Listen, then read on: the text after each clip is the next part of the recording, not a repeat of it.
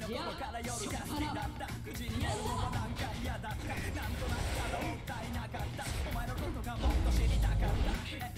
わゆるさもっとでも見たいのさもっともっともとキノコもとくウェルドもしのまで初めてお前もまないだいざ初めてまたかったのは私中心俺は何も知らねばなる手取り足取り全てが新しい